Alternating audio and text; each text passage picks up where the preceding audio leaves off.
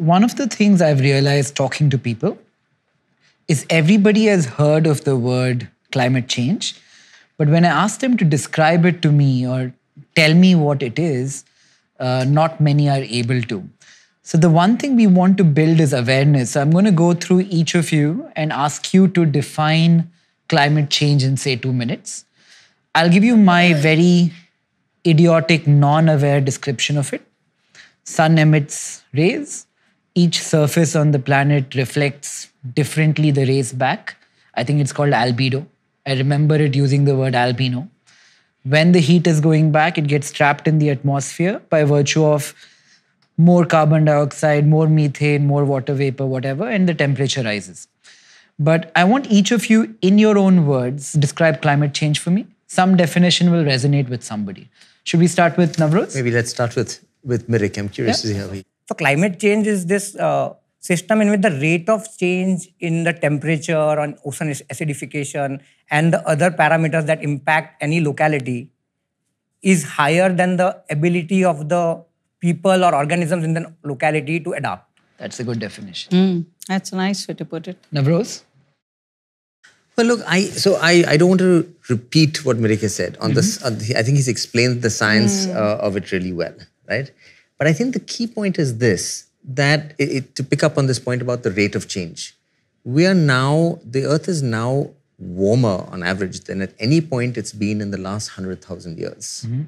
If you look at any of the graphs, you just see this incredible spike right in the last 30, 30 40 years. Mm. Right? And you're and able to correlate that with human involvement. Absolutely. More and carbon, me, hotter that, temperature. That's right. So since you change. asked me about the IPCC, let me explain a couple of the quite amazing science, bits of science behind this.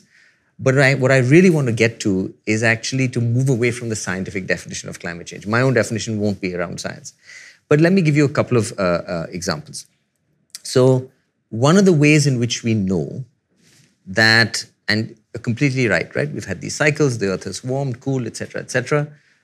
But there have been massive disruptions to life on earth associated with each of these things.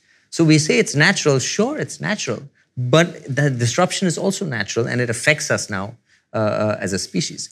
So one of the things we've done is we look at ice core data, right? So they take literally cores of ice, digging deep down into the earth. So the deepest is the Vostok ice core data, goes back 800,000 years, mm. The ice core has kind of rings because every layer of snowfall has a distinct pattern. Mm. So they can count how old that ice is.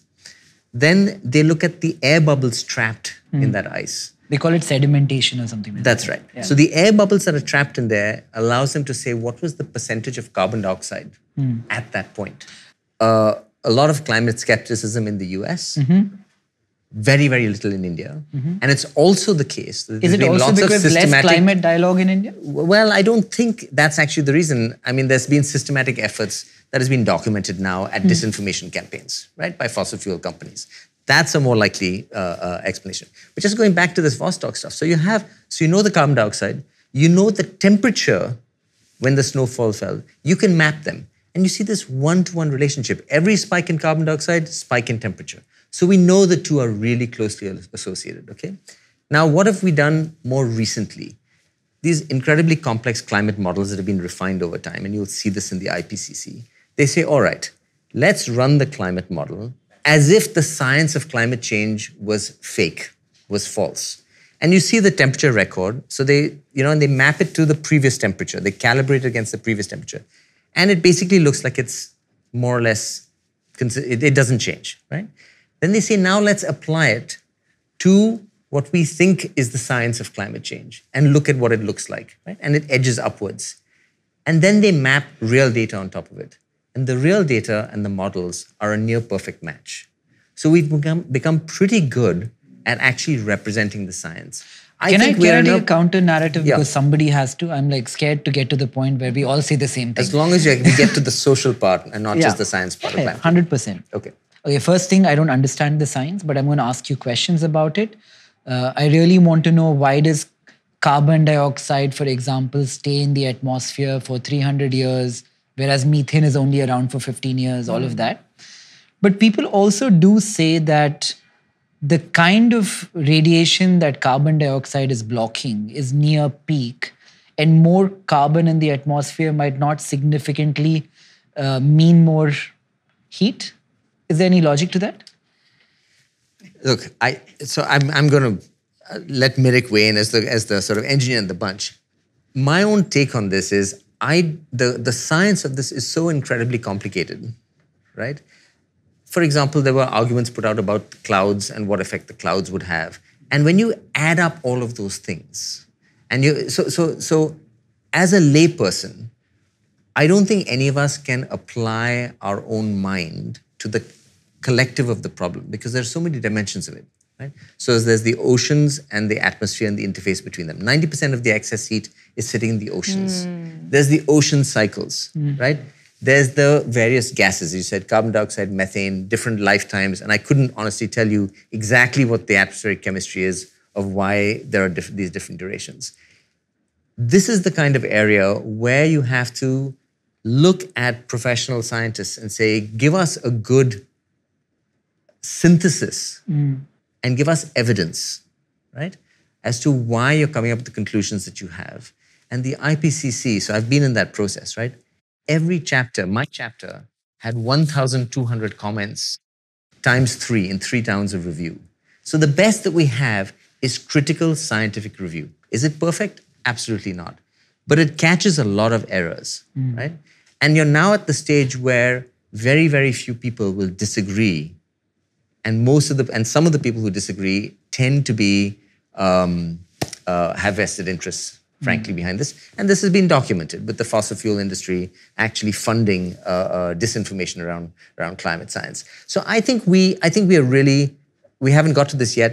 We have also seen an incredible slew of impacts. This is the warmest year on record Right. by some margin right? So so we have the models and we have the science we have the theory we now have the observations. I mean, the, if you look at the graphs of the Antarctic sea ice mm. and its mm. melt, if you look at the graphs of the ocean temperatures, which is the really worrying thing, because as I said, 90% of the heat is in the ocean, mm-hmm. things are way out of whack. And water expands when it's heated, right? So that's part of the sea level rise story. But the but the but the really thing that's really alarming people is is the ocean's ability to absorb the excess carbon dioxide now reaching some sort of limit, right? Which means you're going to see more of it in the air, right? So just look in let's look at India. Just look at look globally at what we've seen uh, uh, uh, this year, right? So we had a flood in Libya. Somewhere between 5,000 to 10,000 people died. Yes. It was 200 times the rainfall that is expected for that period. There's now science, which is called attribution science, that says how likely would that have been in a non climate warming world? And the answer is it's 50 times more likely in a climate warming world. So we saw that in Libya. We saw wildfires in Canada. We saw wildfires in Hawaii. We've seen floods in Himachal. We've seen the Yamuna reaching a 45 year peak. I mean, it's just cascading evidence. Yeah. So I sort of feel like we kind of have to move on. So, what is Navroz's 60 second definition of climate change? Okay. So I'm going to take the science as given for Yeah. all the reasons I've Yeah. told you. To me, and this comes back to Bhumi's point, climate, we have to get away from thinking about climate change as a, as a abstraction. Climate change is now a social and political reality hmm. that is going to have to change the way in which human beings organize our economies and our societies, both to reduce emissions as well as to adjust to what are now inevitable harms. And we need system level changes for this. It's not marginal changes in how we produce things, in how we consume, really, really important in how we consume, and how we build our, uh, uh, uh, in particular, our cities. Okay. Who would like to go next? Bhumi, what is climate change? I'll keep it very simple. Our planet's heating up. Everything that Mirik and Navroz said, I completely resonate with it. 2023 was the hottest year in many, many thousands of years. The year before that, 2022, we were at a 1.2. Please correct me if I'm wrong, pre industrial uh, temperature, which is a lot. I think what people fail to understand is that we think, huh, 1.4 degrees higher to but that 1.4 degrees is going to have an effect like what we saw in Libya, what we saw in Himachal, what we saw in Australia. Uh, uh, in Wildfires. the in the Wildfires. wildfires where like over a billion animals were wiped out. There were thousands and thousands of people at, that lost their homes, livelihoods. There were so many that died. What happened in Hawaii? You know, the oceans are heating up. We are also going to have mass extinction when our, where our marine species are concerned. You know, I, I just feel like as a human race, we forget many a times that we share this planet. You know, it's not ours alone. There are so many other species that we share it with. And I have a very empathetic take on it because I just feel like um, for me, climate change is about adapting to newer ways of living. It is a reality that we are living in today, and it's only going to get more adverse and it's only going to get tougher. I want to be extremely optimistic about it, you know, because that's the tone that I think that's what the messaging needs to be that it's not that it's the end of the world, but we have reached a tipping point. And when we speak of 2030, we are literally seven years away from it, six years away from it. yeah, we are literally six years away from it. Sunita, climate change? it's all been said. So, Yeah. But for me, I But I'll tell you, this is such a curious thing because we asked a whole bunch of people, like a lot of them. Yeah. And everybody had heard climate change, climate change, but nobody could describe what it is. And it's such an important thing. Before you start worrying about something, you have to be cognizant to what it is in a way, right? So we hope we're able to tell a lot of people through this in a very simple way enough. what is climate change. No, it's a good, very good question because, and we've heard it. I mean, different. I think we've got the full picture here. I mean, if I was to wrap this up, I would simply say that, um, you know, there, there is something that we take for granted, which is things that we use, largely fuel that we burn, fossil fuels, um, oil, gas, um, everything that makes our world so good. That we have found today is emitting um, a substance called carbon dioxide, which has a very long life. So, unlike, say, the emissions that you have in your city, which are bad, but those are short lived. Hmm. So, you know, you have particles, but they, if you clean up, if you can get some wind and if you, and they have a natural life, but carbon dioxide has a very long life. Now, that is filling up our atmosphere. And it's, as Mirik said, I mean, to me, the most evocative image is that Earth has got a blanket on it. And so that all those gases are being trapped, and as a result of it, you're getting temperature increase happening. Now, your point about Donald Trump and Vivek Ramaswamy and all the rest in terms of saying, but this is everything we're seeing is natural variability. The fact is, yes, uh, there is natural variability in weather. We've always had floods, we've always had droughts, we've always had an, a landslide, a you know, lightning strike. But what you are seeing now and is the intensity and frequency of those events like never before. And I can only tell you from my personal experience that in 1992 in Rio, when we talked about climate change, we basically knew it was something that would happen in the future. And we knew it was called climate change, but what would happen was something that the models were telling us would happen. Okay? We're living it today.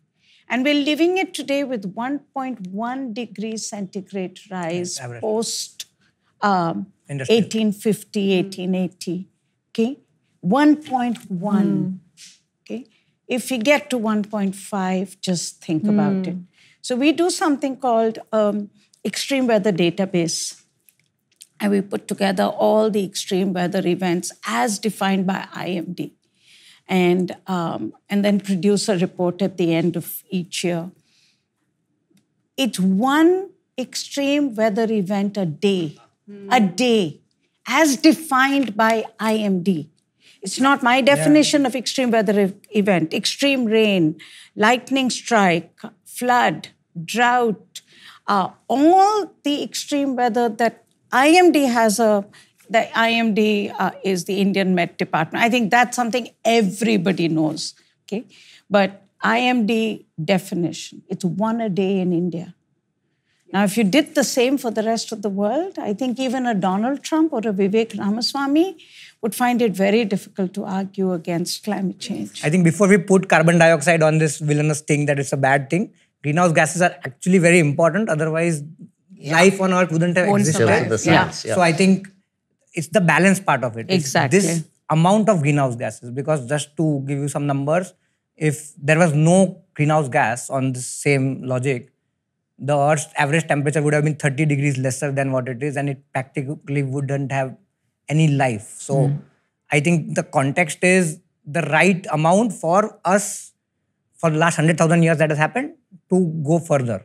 Uh, rather than just saying, okay, it's Hi, I'm Nikhil Kamath. I'd love to know what you thought of the episode. Uh, comment, like, and subscribe. And thank you for watching.